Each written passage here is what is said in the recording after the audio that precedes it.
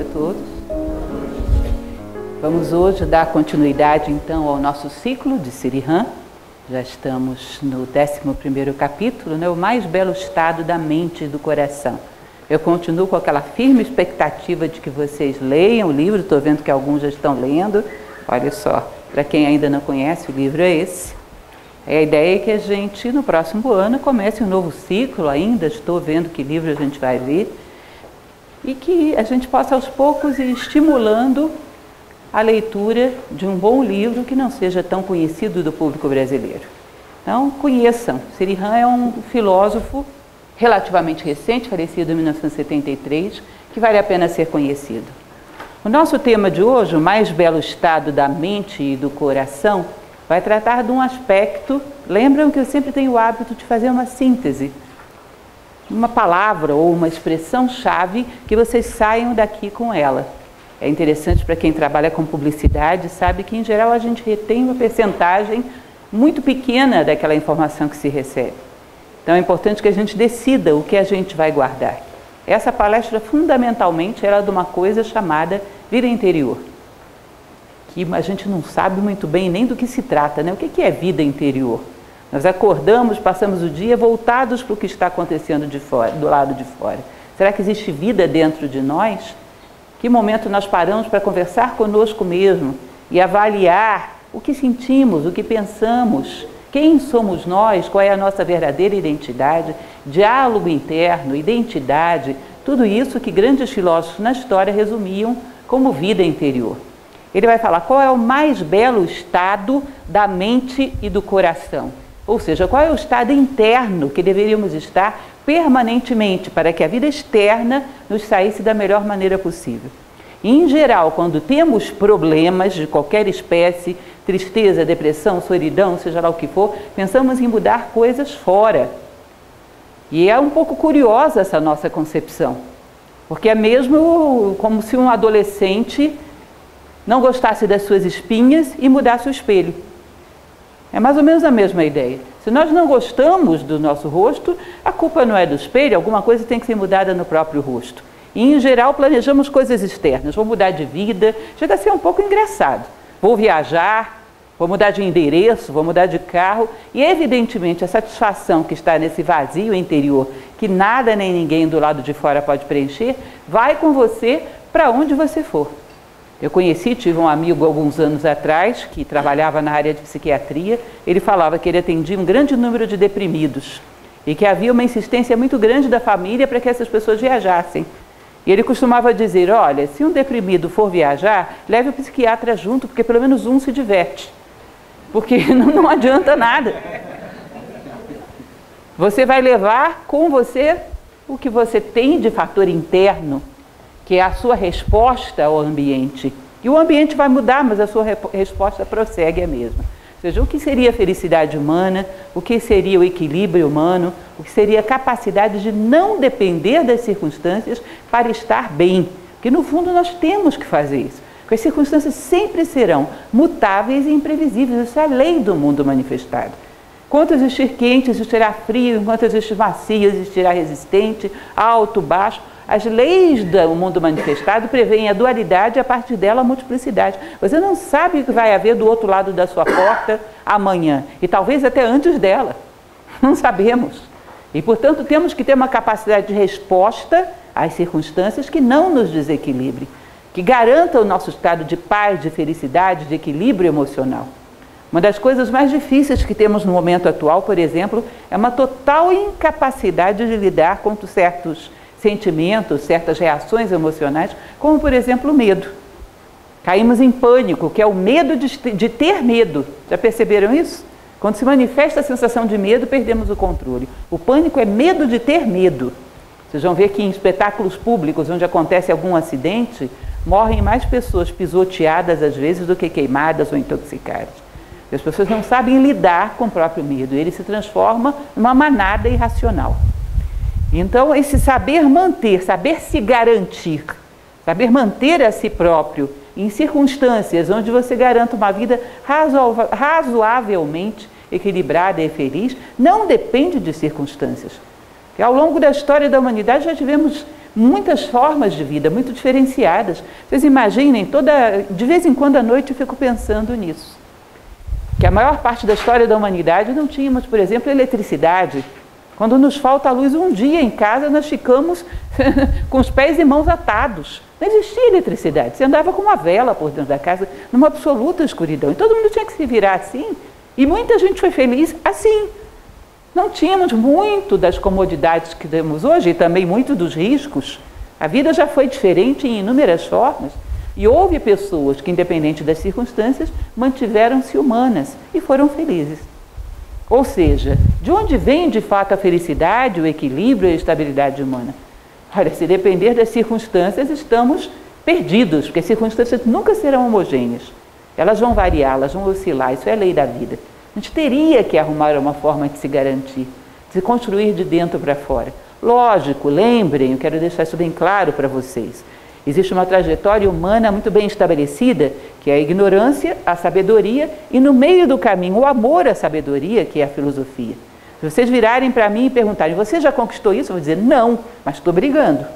Um filósofo não é perfeito, ele tem ânimo de aperfeiçoamento. O que diferencia um filósofo de uma pessoa comum é que ele tem uma meta de sabedoria e não desiste de caminhar para ela. Mas não achem que nós temos soluções prontas, simplesmente sabemos aonde queremos chegar. Isso faz com que caiamos mil vezes e levantemos mil e uma e saibamos continuar caminhando. Esse é o diferencial da filosofia, nos dá uma meta e um ânimo de aperfeiçoamento. Então todos nós estamos buscando isso, inclusive eu mesma. Vamos falar um pouco a respeito então desse aspecto da vida interior.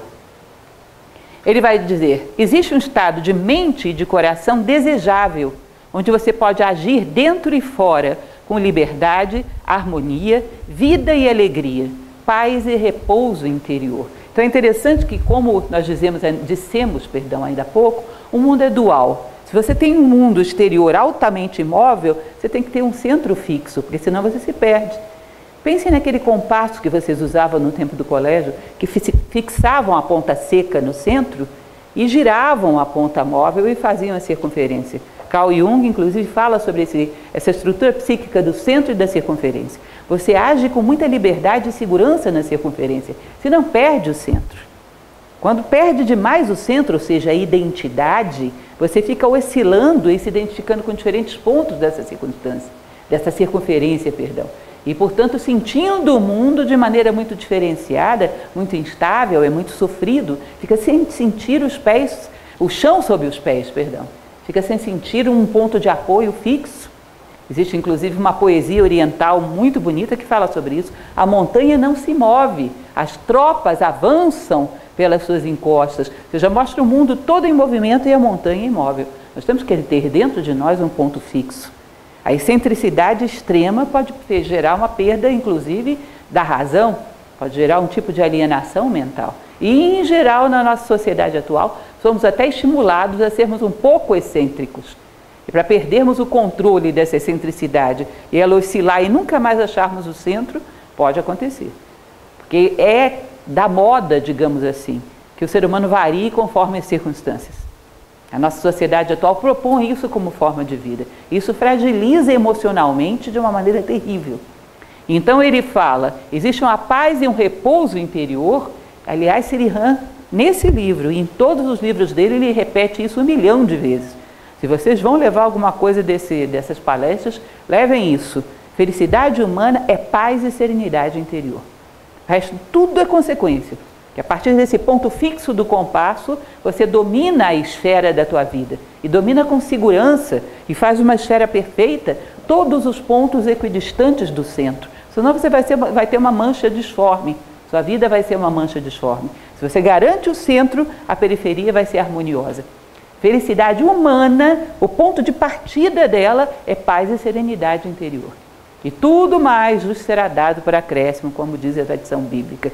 Então, você pode atuar fora, projetando esse ponto de vista do centro que é a tua identidade, em todas as coisas. Lembrem daquela frase que falávamos na semana retrasada: quanto mais dentro, mais fora. Eu tenho liberdade, tenho ousadia, tenho imaginação para atuar fora, quando eu estou com os pés muito bem calcados no centro. tenho uma identidade bem estabelecida e bem conhecida por mim. Tenho o hábito do diálogo interno, sei quem eu sou. Portanto, tenho uma capacidade de elaborar respostas minhas às circunstâncias e não um gabarito pronto que a sociedade me deu quando eu nasci. Eu vivo, não sou vivido. Isso é o elemento fundamental do qual ele vai falar. Senão, estamos descontentes e agitados sempre. Numa das palestras dele, num dos capítulos atrás, ele dizia que nem no sono nós estamos calmos. Nós transferimos para a consciência onírica a nossa agitação da vigília. Nem no sono estamos tranquilos. É uma angústia de procurar algo que não sabemos o que é, que é a pior das angústias.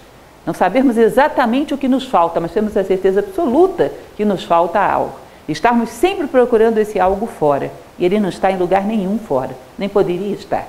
Então vivemos um estado de angústia, de agitação que às vezes não percebemos, porque não existe o contraste. Um minuto de paz vai te dar o contraste. Você vai perceber, nossa, que inferno que é a minha vida normalmente.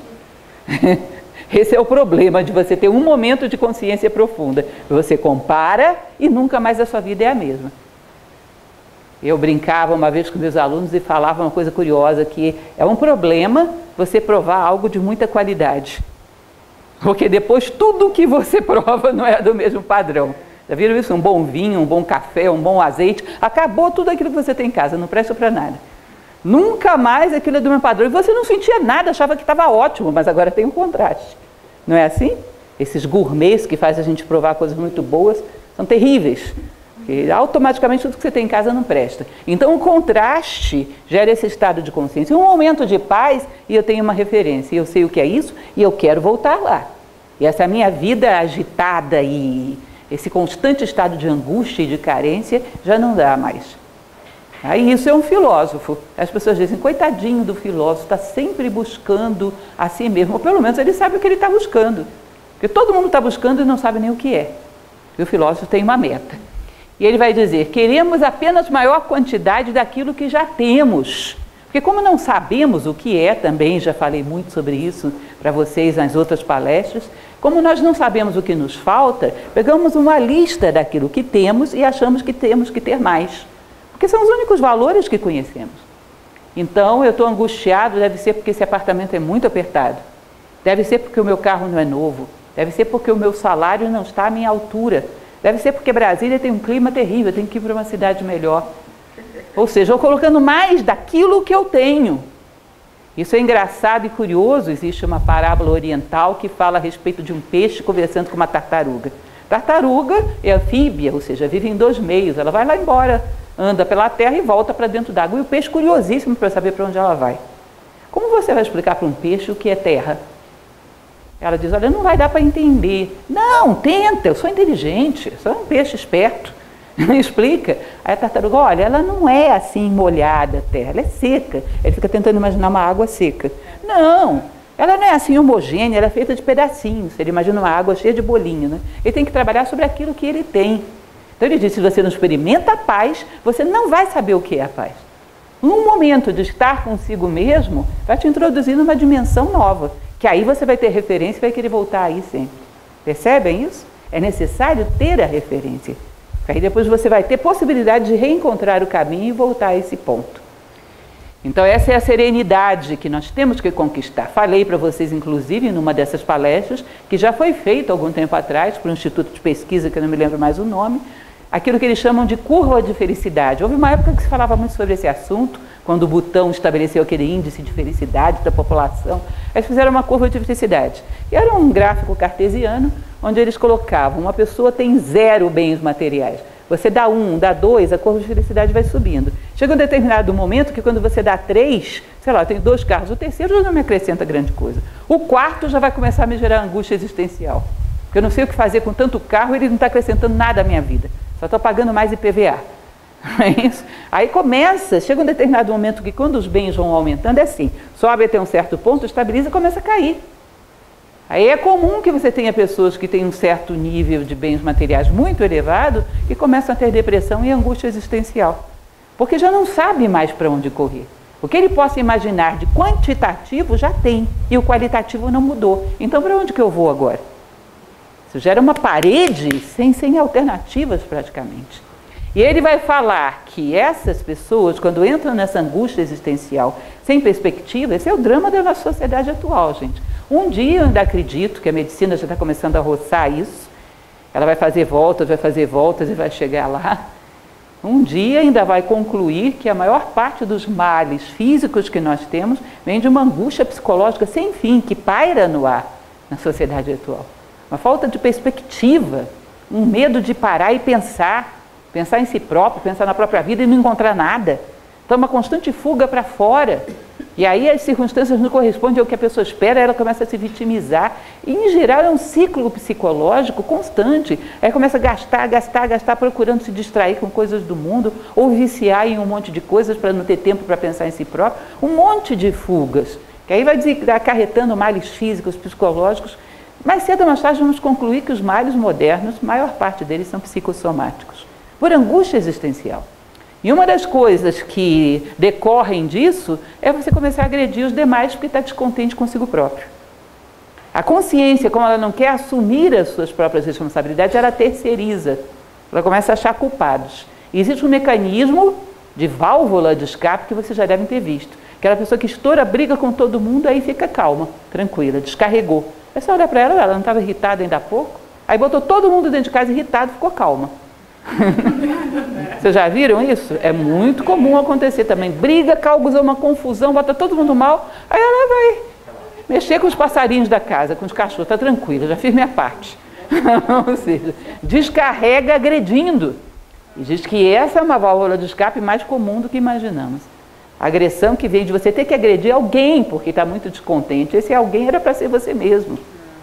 Então, terceiriza, espelha, joga do lado de fora. Essas são as raízes que estão por baixo da terra dos nossos problemas e que em geral não vemos. Né? Expressamos qualidades que se fundem reciprocamente, sem compulsão. E isso é uma outra coisa. Listinha das coisas que eu quero que vocês levem dessas palestras. Se couber mais essa na bolsinha da memória, coloquem. Um ser humano não tem uma, duas, três qualidades. Em geral, ele tem uma qualidade, que é vida interior e estar em paz consigo mesmo. E isso se expressa, conforme as circunstâncias, de inúmeras formas. Vocês podem conceber uma pessoa que é profunda, serena, está em paz com a sua própria consciência e se expressa com generosidade, mas com justiça não. Com amor, mas com bondade não. Como poderia ser isso? Não parece estranho? No fundo, nós sabemos que todas essas coisas são simplesmente faces como um prisma faces de um único centro, manifestações de um único centro. À medida que o homem vai conquistando a si próprio, vai deixando uma marca no mundo que é a marca da sua identidade humana. E a identidade humana é muito bela. Quando ela se manifesta, se manifesta em beleza em inúmeras formas, como um prisma, em inúmeras cores, mas que emanam todas de um branco central. Ele vai dizer: paz, cuidado, porque paz não é indolência, paz não é passividade. Pense numa coisa complicada, como dizem os meus queridíssimos paraibanos. Pense numa coisa complicada é essa confusão que nós fazemos hoje em dia entre paz e passividade. Um cidadão pacífico é aquele que não faz nada. Não, isso é um passivo. Paz é como se fosse a vida. A vida é muito pacífica. Você imagina uma célula, ela está extremamente bem organizada. Você tenta colocar algum elemento agressor, o que, que acontece? A imunidade vai lá e coloca todo mundo para fora, né? A paz exige ordem, exige harmonia, portanto, ela exige imunidade, ela exige defesa. A paz tem um aspecto de tensão da vida que ela se garante, segundo o princípio, ela não deixa entrar qualquer coisa. Então, o pacífico não é um passivo. A paz não é indolência, não bloqueia ação nem mudanças, apenas resiste ao meio. A paz é como se fosse a imunidade da nossa consciência. Ela garante que nós vamos deixar marcas no mundo e não o mundo nos deformar. É daqui para fora. É como se você imaginasse um escritor que está escrevendo e que, de repente, o conteúdo daquilo que ele escreve é determinado pelo tipo de papel, pelo tipo de caneta e pela tinta. Não, com essa caneta eu não posso fazer um livro, fazer só uma crônica, porque acaba a tinta. Como assim?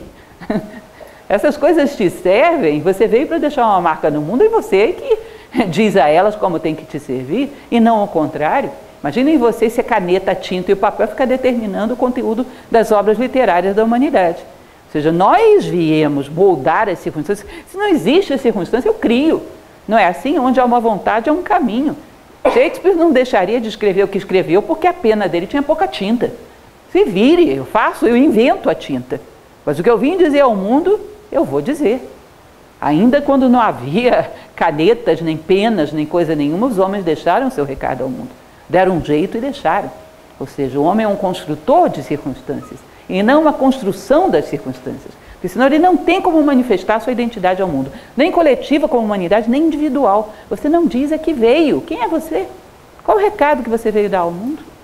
Nós temos que dizer a que viemos e para isso ser dono das circunstâncias e não escravos delas. Tá? Então essa resistência ao meio é algo que ele sempre fala também. Né? Uma corda bem afinada de um violino.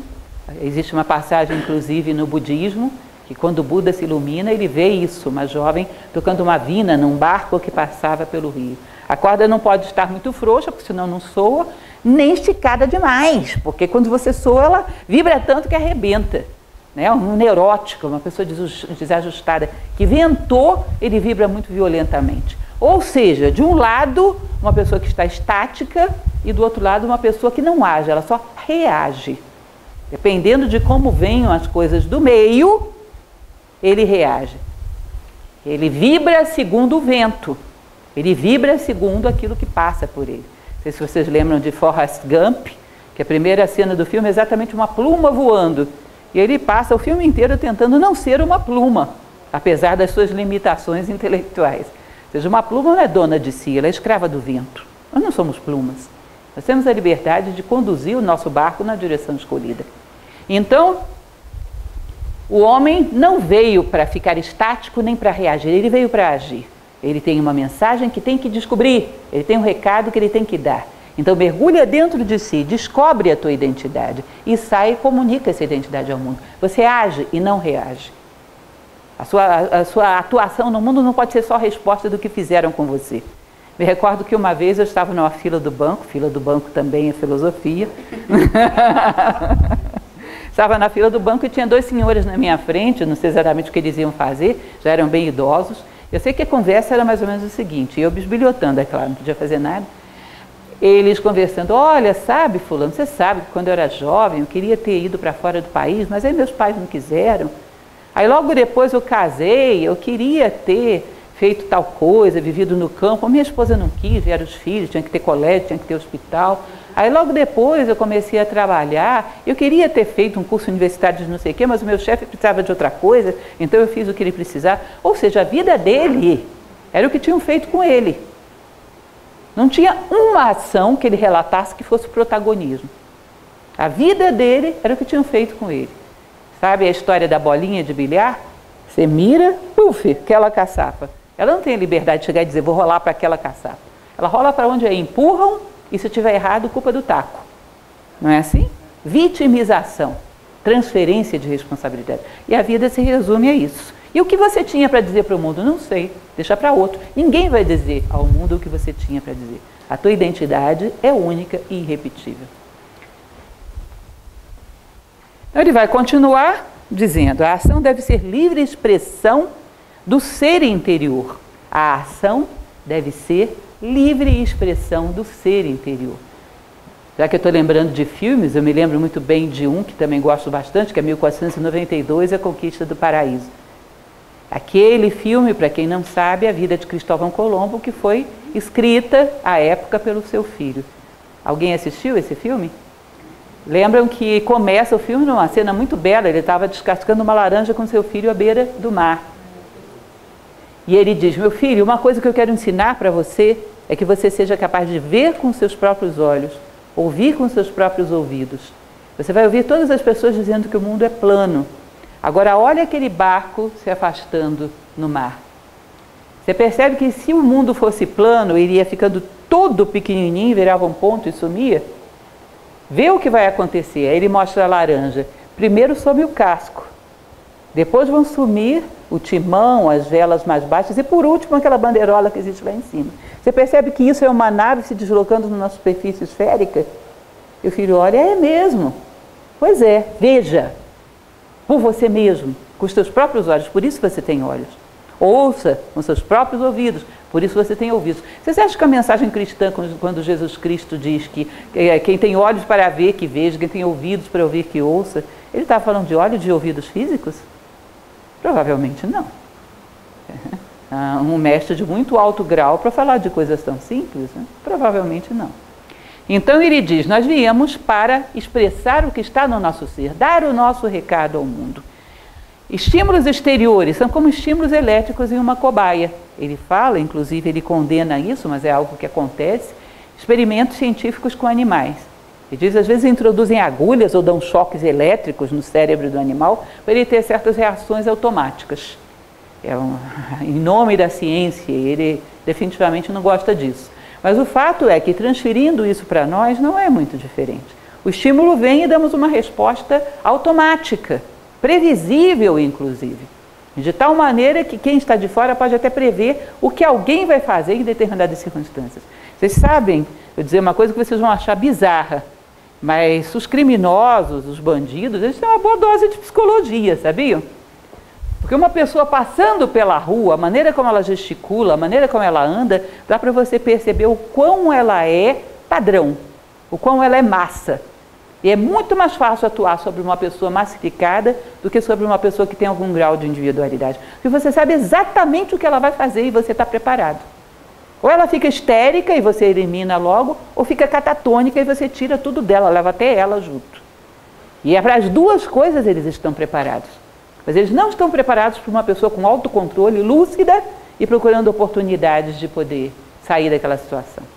Não tem resposta para isso, porque a inteligência humana é multifacetada, pode sair qualquer coisa dali. É um risco muito alto. E às vezes andando pela rua, pela maneira como lida com seus pertences, eles têm um pouco de, de, de conhecimento da, da psique, psicologia humana a partir da observação. Esse é fácil. De vez em quando se enganam, mas muito raramente. muito raramente. Em geral, sabem observar e sabem onde eles têm uma presa fácil. Sabe por quê? porque são pessoas reativas e não ativas.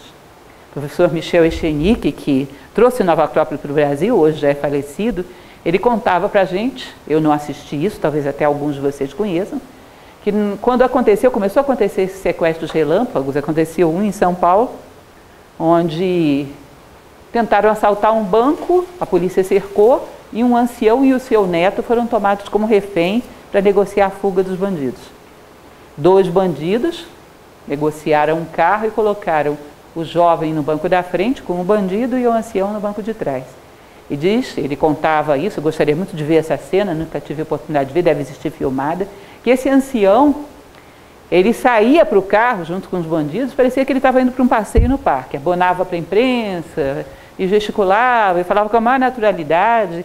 Quando sentaram ele no banco de trás, diz que ele, ele conversava com o bandido como se estivesse conversando com um colega num, num bar, com a maior naturalidade do mundo.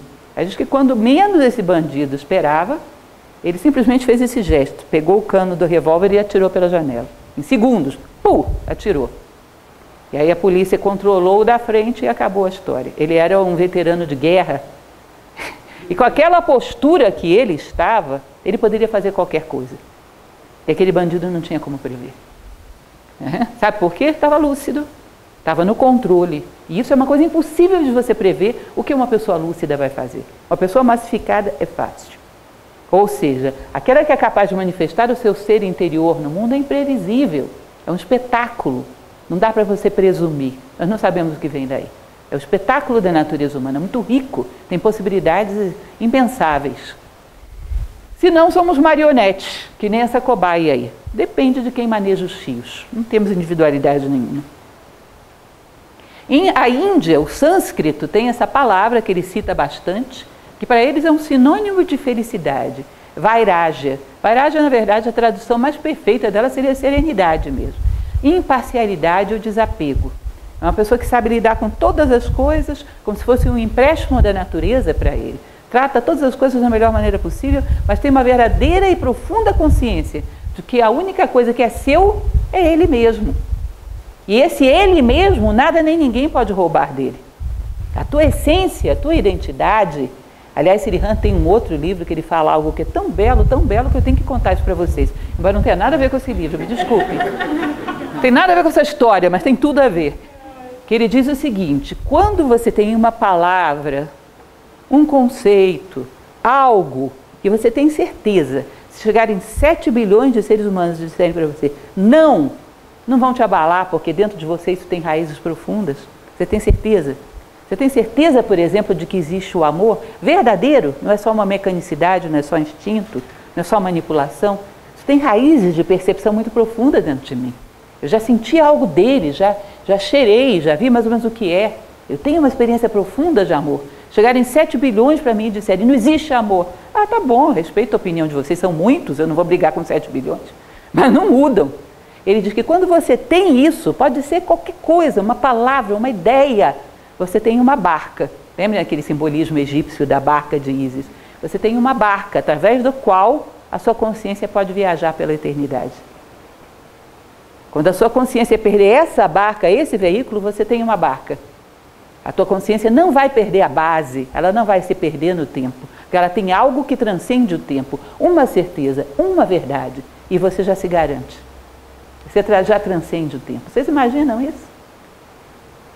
As águas da eternidade vão te abrigar se você tiver uma barca. Algo que você concluiu por uma experiência profunda e que nada nem ninguém pode roubar de você. Você não se perde mais. As águas da eternidade vão receber a sua barca e você não afunda, não naufraga. Não é interessante isso? E ele diz de uma maneira assim altamente poética: construa sua barca. Em suma, a sua vida não é muito mais do que isso. Construa a sua própria barca uma coisa que seja. Você tem que ter de experiência profunda interior tua, intransmissível, impossível de ser tirada de você. A eternidade está aberta. É a barca de milhões de anos dos egípcios. Bom, ele vai dizer então que a reação ao prazer, e nós podemos perceber isso, gera automaticamente um desejo que nos prende ao objeto. E essa reação é que vai fazer com que nós fiquemos frágeis. Porque nós podemos perfeitamente ter prazer com as coisas, mas não achar que elas são nossas, nem ter medo de perder. Porque quando você tem essa, essa ideia, é belo, é meu, o objeto te prendeu. E de uma certa maneira você é escravo dele.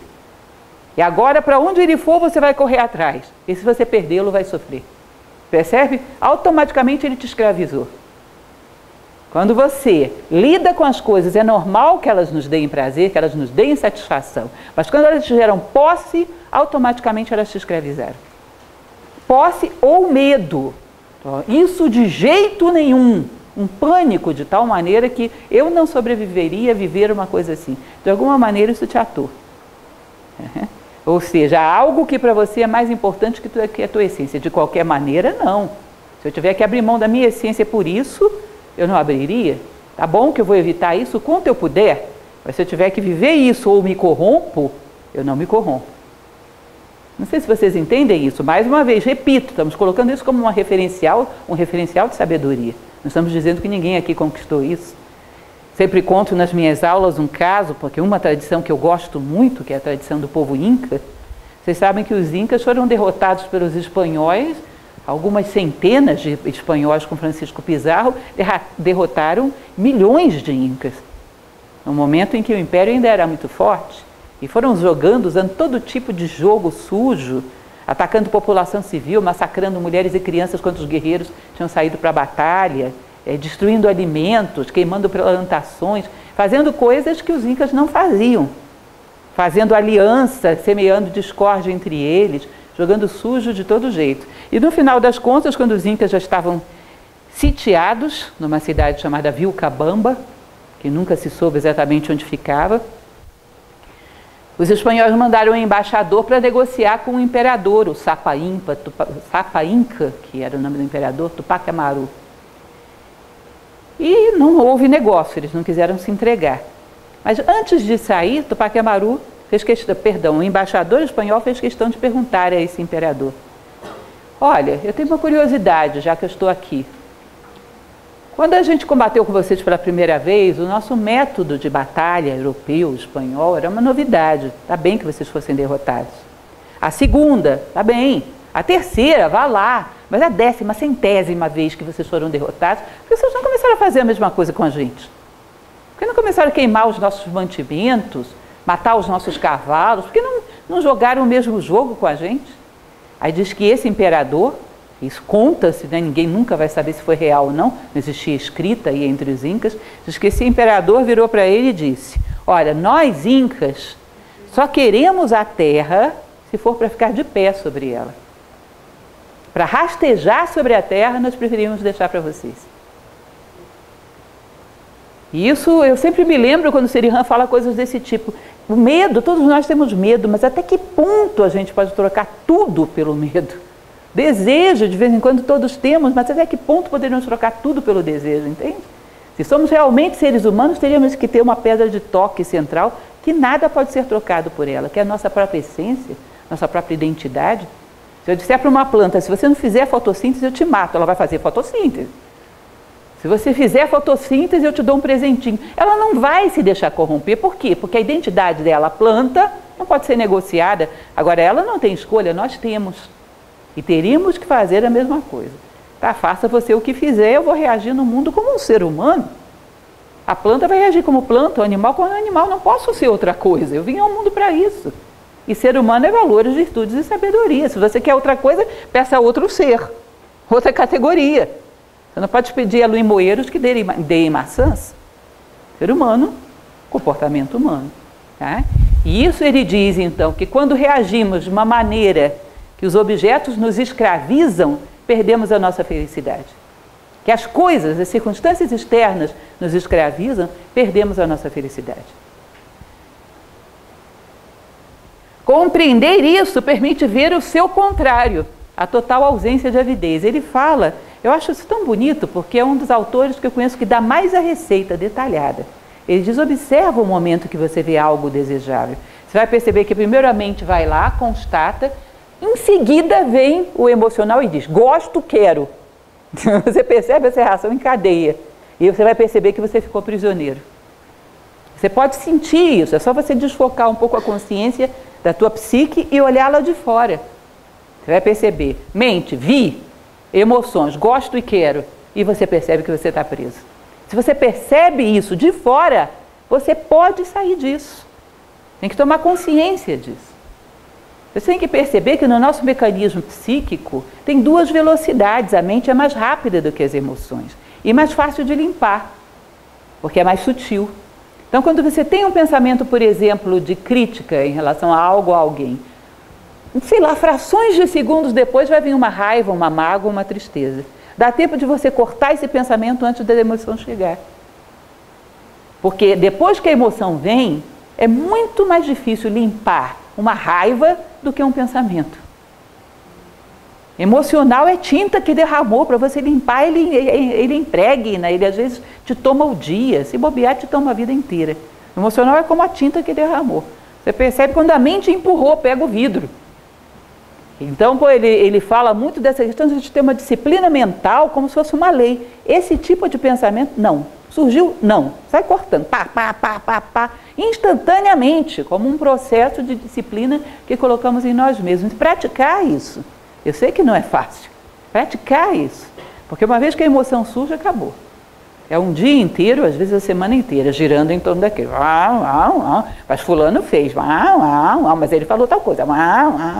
E aí, pobre de nós, é muita energia. É muita energia.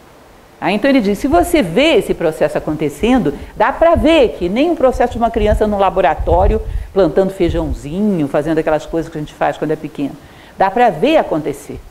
E dá para aprender a lidar. Você tem que se ver como se fosse um objeto de laboratório. Coloca a lupa, se vê.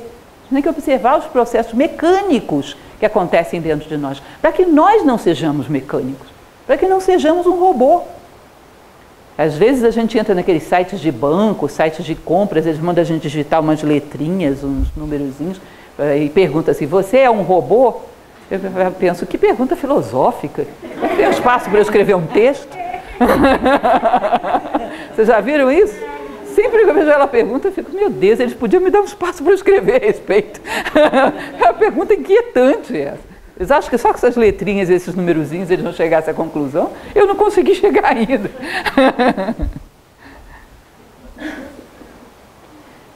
Preceito budista: não roubar. É interessante porque ele cita: existem preceitos dentro do budismo para o público em geral para o homem comum e para os monges, onde é muito mais exigente. O homem comum existe esse preceito aí, não roubar. Mas mesmo esse preceito, ele é mais sutil do que a gente pensa. Porque não, não é só não roubar coisas físicas, é não roubar a atenção, não roubar o tempo, não roubar a paz do outro, não roubar os méritos do outro para querer ser visto a qualquer preço. Sabe aquela história da pessoa que qualquer coisa que se faça, mas a ideia foi minha. Ah, mas se não fosse eu, isso não tinha saído. Ah, mas ele aprendeu isso de mim. Ou seja, você sempre, sempre tem necessidade que o mundo gire à sua volta, tirar da sua fatia em tudo, uma necessidade fora do comum de projetar sua personalidade acima dos demais. Isso é um roubo. Esse tipo de roubo, que acontece em vários planos, quanto mais sutil, às vezes mais doloso, mais complicado, que vem de uma necessidade desesperadora de estarmos acima dos demais. Essa necessidade nos faz tirar do outro para que eu tenha mais do que ele. Em algum plano eu vou tirar. Se eu quero me projetar a qualquer preço, em algum plano eu estou roubando de alguém. Para que a minha personalidade esteja acima, eu tenho que roubar o banquinho do outro. Senão eu fico do mesmo tamanho que ele. E o que é esse banquinho? Mil possibilidades. Tá? Então, é, mesmo esse conceito para o público em geral é um conceito mais sutil do que nós imaginamos. Agora, ele diz que dos monges, eles cobram isso dentro da tradição budista. Relacionar-se e interessar-se por tudo que é bom e belo, sem desejar nada. Onde existe beleza, me interessa. Mas não, ela não é minha, eu é que sou dela. Eu sirvo a beleza. Eu quero deixar um rastro de beleza no mundo. A beleza não é minha, eu é que sou dela. Existe um filme, ai, hoje eu estou, sessão cinema, que é interessante também. Para quem não assistiu, é um filme francês bastante antigo, que é O Mestre da Música. Basicamente, o filme, todo ele é muito bonito. Mas existem dois cantores líricos que disputam entre eles, e um deles se torna famoso, mas se realiza e o outro não. Aí no final, seus discípulos perguntam para ele: por que você conseguiu e Fulano não?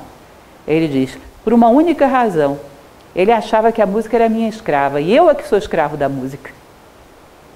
Eu sirvo a música e não ela a mim. Eu passei a vida inteira servindo a música. Nunca tive a pretensão de que ela me servisse. E por isso eu consegui e ele não. Eu achei muito interessante, muito bonita essa cena. O filósofo tem essa mania de sair catando as coisas, os momentos de beleza. Achei muito bonito porque é realmente assim. Por que, que eu não desejo as coisas? Porque eu não sou dono de nada. Eu sirvo ao mundo e não o mundo a mim. Lembrem daquela divisão do amor que eu sempre falo para vocês. Parar de olhar para as coisas e perguntar para que isso me serve. Começar a olhar para as coisas e perguntar como eu posso servir a isso. Ou seja, deixar um rastro de beleza no mundo, eu sirvo a beleza. E não o contrário. É muito comum que um grande artista, sei lá, cantor, por exemplo, que é algo que exige de uma estrutura física do corpo. Então, dificilmente um cantor com 60 anos canta como ele cantava com 40, 30, vai se perder a voz em geral não aceitam, entram em depressão. Por quê? Eles achavam que a música era deles e não que eles eram servidores. Se tivesse essa noção, bom, ensinava os outros a cantarem, servia a música. Eu servia de um jeito, agora sirvo de outro. Maria Callas, que é uma cantora que eu gosto muito, é suspeita de ter se suicidado quando perdeu a voz. Então, imaginem vocês, a música é minha escrava.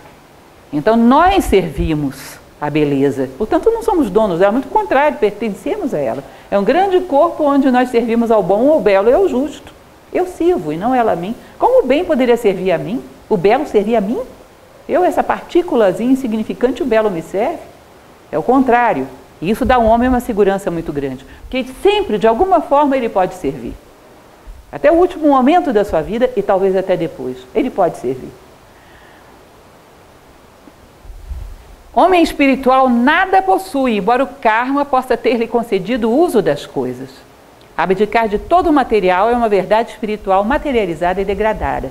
Isso é pesado que ele fala, inclusive porque ele nasceu na Índia. Ele diz: aqueles sannyasins, aqueles monges, que para mostrar que são muito espirituais, abrem mão da sua casa, da roupa do corpo, de tudo, vão para um deserto ficar mendigando comida, não tem nada e acham que isso é espiritual, isso é uma degradação de uma verdade espiritual.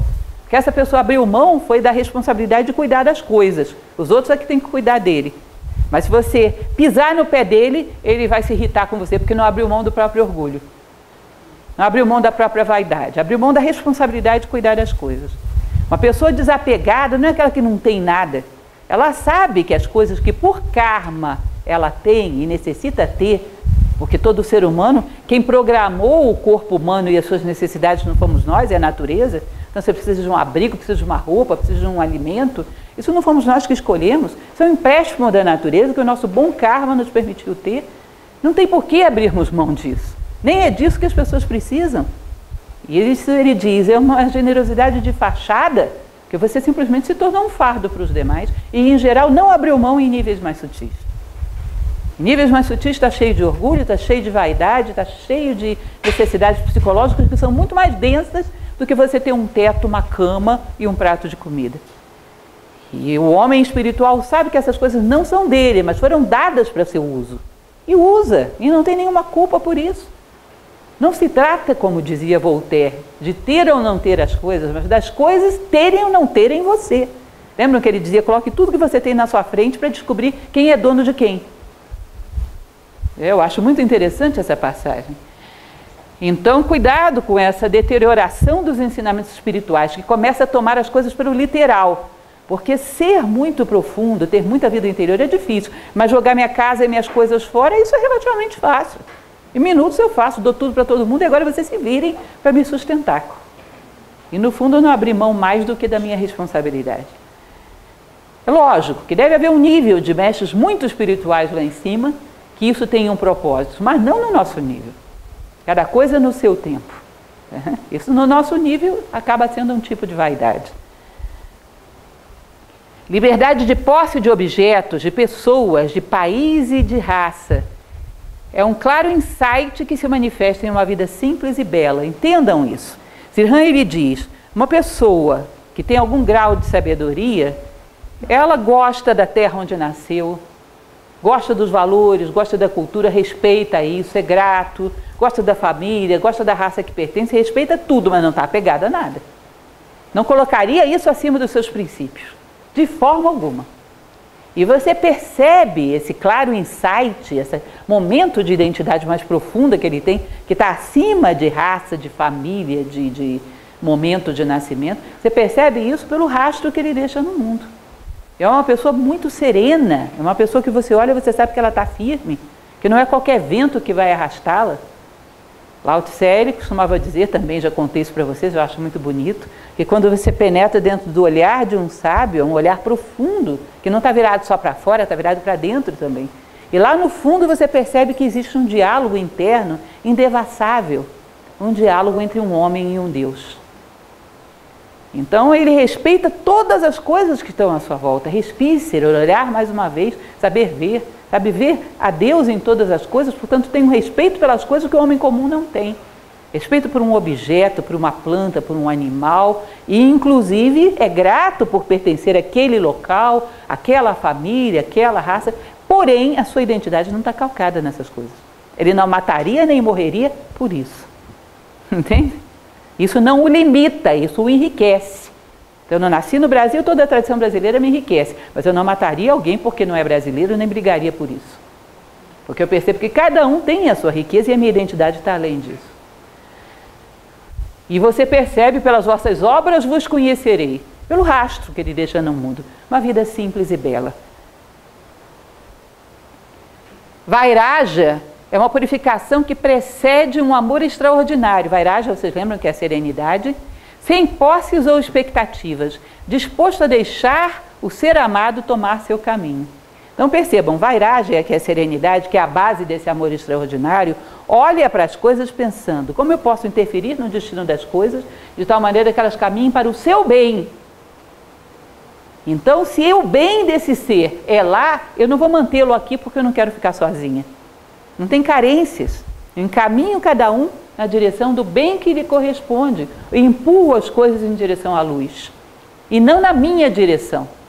Isso é carência, isso é apego, isso é querer ser amado a qualquer preço. O amor extraordinário basta-se a si mesmo e conduz todos os seres ao seu destino.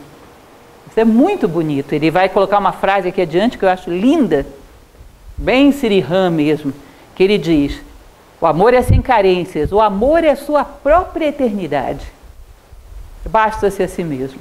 O amor profundo é a sua barquinha é a sua própria eternidade. Isso tem tudo a ver com o amor platônico. Basta-se a si mesmo. A pessoa já é plena pelo ato de amar. Ela transborda amor em todas as direções, então não existe nenhum espaço para carência. Se ela está mexendo com esse quadro, vai fazê-lo com todo o amor possível. E como ela despeja amor em todas as direções, não tem espaço para carência. Agora o egoísmo vem e pega toda essa gama de amor de 360 graus que você tem e concentra num grau só. Em cima de uma só criatura que você escolheu para amar. Você imagina 360 graus reunidos em um grau, isso é um raio laser, vai perfurar o coitado. Não é isso? Ninguém suporta. Gera um nível de possessividade que ninguém suporta, fica sufocante. O homem tem uma possibilidade de amor 360 graus. Onde ele passa, você percebe amor. Imagina como é que seria uma sociedade feita de homens assim. E esse homem não teria carência. Que aquilo que jorra não tem necessidade de absorver nada. Uma fonte que sempre jorra não vai querer absorver água. E o homem tem essa capacidade de geração e de felicidade pelo fato de jorrar, pelo fato de ser humano. Desapego, não agressão, autonomia, etc. É muito bonita essa passagem, prestem atenção nisso. O amor é, é o ápice dessas qualificações, senão frustrações, ciúmes e ressentimentos. Eu já falei para vocês sobre isso, inclusive. Você quer amar esse amor extraordinário, humano? Tá bom. O que você vai fazer agora? Vou pegar o tijolo. Não, não, não, não, não. Cava um buraco. Agora, não. Dobra os ferros, coloca lá dentro, joga concreto. Mas cadê o tijolo? Na sua hora. É assim? Faz as fundações, aí vai, coloca a estrutura de ferro profunda de acordo com a altura do prédio que você quer construir, joga o concreto lá dentro e vai. As bases para você um dia ter condições de colocar aquele tijolinho, amor. Tem uma série de virtudes prévias para estruturar uma psique humana para ela realmente comportar um amor verdadeiro. Eu falava para vocês esses dias, tijolinho, tijolinho, tijolinho. Agora é a telha. Tá bom, agora é a telha. Eu coloquei uma fileira de tijolo, já vou querer vir com a telha. Não dá, não cabe ninguém lá dentro. Então tem uma série de sentimentos prévios: desapego, não agressão, que vem de você estar bem consigo mesmo, né? Autonomia, não depender dos seres, porque se você depende deles, vai maltratá-los, não vai deixar que eles caminhem na direção que eles correspondem. Ou seja, o amor é o ápice dessas qualificações. Se não, é como dois mais dois são quatro. Vem frustração, vem ciúmes, vem ressentimentos. Aí vem aquela história do amor seja infinito enquanto dure. Se fosse amor, seria infinito, ponto final. Ou seja, Platão e Vinícius Moraes nesse assunto não se entendem muito bem. Não se entendem. Porque Platão ser amor verdadeiro é infinito por natureza, porque é uma virtude espiritual. E no plano espiritual não existe tempo. Portanto, não tem como ele ter início nem fim. Ele é, ele é. Uhum. E isso é muito interessante. Diz qualificações para amar. Essas coisas todas que eu estou falando para vocês até agora é para um dia você chegar e dizer, agora eu amo. Senão não dá. Não sustenta, não suporta o peso de um amor humano. Amor puro, incondicionado, não preso à memória ou a expectativas, sem arrependimento ou sensação de sacrifício por algo. Simples expressão do que se é. Por que, que eu faço fotossíntese? Porque eu sou planta. Por que, que eu sou instintivo? Porque eu sou bicho. Por que, que eu sou resistente? Porque eu sou uma pedra. Por que, que eu amo? Porque eu sou ser humano. Ah, porque você vai me amar também. E vamos ficar juntos pela eternidade. Ah, isso depende de você. Faça você o que quiser e eu vou amar. Você não pode nada contra isso. Depende só de mim. Não pode estar condicionado à reação, porque senão é um investimento em mercado de capitais. Você me ama, eu amo. Esse investimento não está bom, eu vou para outro lugar para ver isso. Isso é é um plano de previdência privada, investimento, é qualquer coisa, menos o amor. O amor é incondicionado, ele não depende de você fazer nada. Ele depende simplesmente de eu ter condições de amar. Sempre conto para vocês um caos, coisas bobas, eu gosto desses exemplos bobos que são os que a gente mais grava, né? Eu recordo que minha filha era bem pequenininha, teve um problema de saúde grave, e o farmacêutico ia na minha casa dar um monte de injeções nela, todo dia. Não vou entrar em detalhes se se deve ou não dar injeção antibiótico em crianças, que isso é um problema biológico que não vem ao caso agora. Mas o fato é que ela tinha pavor desse bendito farmacêutico. E ele não ficava complexado, carente, triste, ficava feliz da vida. Quando a gente passava na frente da farmácia, ela queria cruzar a rua para não passar. ele, oh, como ela está bonitinha, tudo bem, oh, tá boa ela, tá. Mas imagina se fosse um farmacêutico carente, não, ela não vai gostar de mim. Morria, guria, porque não, quem vai querer arrumar? Que estava preparado para ser odiado, para ser desprezado, para ser temido, mas salvei a vida da menina. Já imaginaram? Médico carente? Não, antibiótico não. Injeção, a criança vai ficar com raiva de mim. Morria todo mundo. Isso não é natural, não é óbvio? Então o amor ele deveria não esperar senão o bem do ser amado. Esperou outra coisa, é difícil. E a gente sabe disso, é uma questão de lógica e de bom senso, né?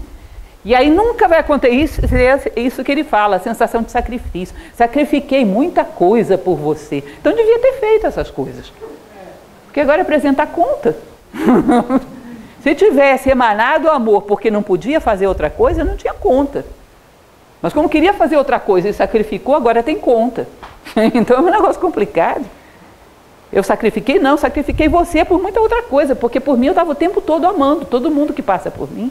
E tive que sacrificar para fazer umas outras coisas que eu não conseguia amar ainda. Mas se eu pudesse, amava tudo o tempo todo, porque isso é o meu natural, isso que me realiza. Então, quando eu amei você, era o momento que eu estava mais feliz, não fiz sacrifício nenhum. Não tem essa dualidade. O verdadeiro amor não tem dualidade. Eu amo por quê? Porque sou. E não tem outra coisa para fazer. Sou planta, faço fotossíntese. Não adianta pedir outra coisa de mim. Não dá. Entendem? Então isso não tem negociatas, não tem trocas, não tem expectativas, não tem passado, não tem futuro. Está no momento presente como um ser humano. Isso é muito interessante, acho muito bonito. Nem passado, memória, nem futuro, expectativas. No momento presente, como um ser humano deve estar. Tal maneira que você olha o rastro e diz: por aqui passou um ser humano. Porque você percebe um rastro de amor. Quantos seres humanos na história deixaram um rastro assim? Muito poucos, né? Infelizmente. E nós tivemos quantos seres humanos já na face da Terra? Um estado de mente e coração que não depende das circunstâncias desperta segurança, alegria e paz que se buscava no exterior. Agora você está tranquilo. Vamos tirar o que de você? O que você tem é inalienável. É teu. Nada nem ninguém pode tirar de você. Tudo aquilo que pode ser tirado de ti não é realmente teu. E isso nos dá insegurança, medo, a dor e tudo mais. Então aquilo que se buscava no exterior se encontra dentro. E fora simplesmente emana-se aquilo que se é. Você dá sementes. Bom, o chão pode ser concreto, pode ser que não brote, mas eu dei sementes. Em circunstâncias diferentes, momentos históricos diferentes, houve homens muito bons que fizeram coisas muito semelhantes. E aqui a semente pegou e ali não. Já perceberam? Porque as condições do ambiente eram diferentes, mas os dois estão muito tranquilos e felizes, te garanto. Porque fizeram o que se espera de um ser humano. E o resto, as circunstâncias, dependem de coisas que às vezes não estão nas nossas mãos. Busca de segurança gera temor. Então nós estamos sempre procurando um ponto firme fora. E fora não tem um único ponto firme na face da Terra. Isso é um problema sério, geológico talvez, não filosófico. não tem um ponto firme na face da Terra. Não tem onde apoiar. Se não apoiar dentro, você está perdido. E isso nos deixa sempre desequilibrados e inseguros. Memória sem apego enfrenta acontecimentos à medida que se apresentam, sem antecipar ou temer. A antecipação de coisas que nós não sabemos nem o que é, nos coloca na expectativa de um futuro duvidoso e perdemos um presente certo. Mais uma vez, já que hoje é o Dia Internacional do Cinema, na minha palestra, não sei porquê, mas tem uma um filme muito bonito, também muito conhecido, relativamente recente, chamado Gladiador, não sei se vocês lembram. Tem um determinado momento que aquele general Maximus, que tinha se tornado um escravo, está no centro de uma arena. E vinham os inimigos por trás de uma porta. Ele junta todas as pessoas em volta dele e diz: Seja o que for que venha de trás daquela porta, se estivermos unidos, nós temos chance. Eu acho aquilo tão bonito. Essa porta é o futuro. Seja o que for que venha por trás dessa porta, se você estiver compacto, unido a si próprio, você tem chance. E na hora que vier, você vê, responde à altura. Mas o que você pode fazer pelo futuro é ser humano no presente. Não tem outra coisa para fazer. Ah, tem algumas providências práticas, posso fazer um plano de previdência? Pode, essas coisas são básicas, mas não te garantem. O país entra em guerra civil, seu plano de previdência vai para o espaço. O que garante ao homem é ser humano. Não tem outra coisa que garanta o homem. Então, seja o que for que venha da porta do futuro, esteja consigo mesmo de maneira sólida, leal, seja fiel a si mesmo. Júlio César de Shakespeare, vocês devem conhecer essa frase, muito bonita e muito conhecida. Os covardes morrem muitas vezes, os valentes só uma vez. Onde é que o valente morre? Na hora que chega a morte, ele vê do que se trata e morre. O covarde está morrendo desde o momento que nasceu. Ih, vou morrer. Será que agora, uh, está chegando? Olha, apareceu uma ruga, ou um cabelo branco. Que inferno. Os valentes enfrentam as coisas quando elas surgem a partir de toda a base de consciência que construíram ao longo de vários presentes bem vividos. Aí o futuro chegou, eu vivo o futuro. O que vier de trás da porta, a gente vive, mas responde como ser humano. Tem uma passagem linda de um livro budista que se chama Alita Vistara, que Siddhartha Gautama diz: Seja o que for que o demônio Mara traga, eu responderei com retidão. Sejam quais forem as circunstâncias que venham através das ilusões, eu responderei com retidão. Ou seja, manda o que você quiser, futuro, que eu vou chutar essa bola como chuta um ser humano. Tá? E se vou fazer gol ou não, a gente vê, mas que eu vou chutar como um ser humano. Seja o que for, responderei com retidão. Imagina você poder garantir uma coisa dessa? Seja de que mais?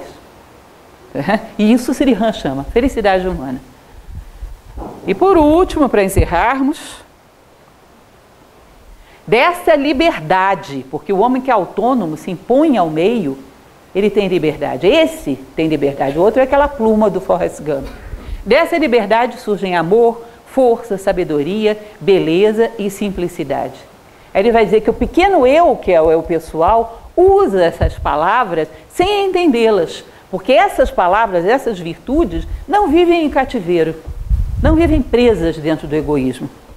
Sabe aqueles bichinhos tipo urso panda que eles não conseguem reproduzi-lo em zoológico porque ele não se adapta à vida em cativeiro? Diz que as virtudes humanas são assim, o cativeiro do egoísmo, do cidadão que só pensa no pequeno eu, eu, eu, eu, eu, eu, eu, eu, essas coisas não crescem não. Ele vai ter tudo uns negócios meio esmagados, meio mal feitos. Essas virtudes só crescem em liberdade. Exigem que o homem dê liberdade para que elas se expandam. Presos dentro do cativeiro do próprio egoísmo, do próprio euísmo, desse pequeno eu, você fala dessas coisas sem saber do que está falando. São palavras vazias. Simplicidade. Que simplicidade? Quem que é simples? Humildade, beleza, amor. O que, que é isso? Aí chega aquele negócio do achismo. Eu acho que é isso, eu acho que é aquilo. Vira toró de palpite, como se diz popularmente. Mas nenhum conceito profundo. Porque não temos como experimentá-lo. Não temos espaço para eles. Estão todos sufocados. Só temos sementes. Tomara que elas não, não se tornem estéreis. Em algum momento possamos dar a elas espaço para que elas venham brotar. Bom, hoje é isso. Sei que alguns de vocês têm aula e tudo mais, e nós somos um pouco mais longos hoje, mas guardem essa ideia da vida interior como ponto de partida e tudo mais será dado por acréscimo e da felicidade associada à paz, à serenidade.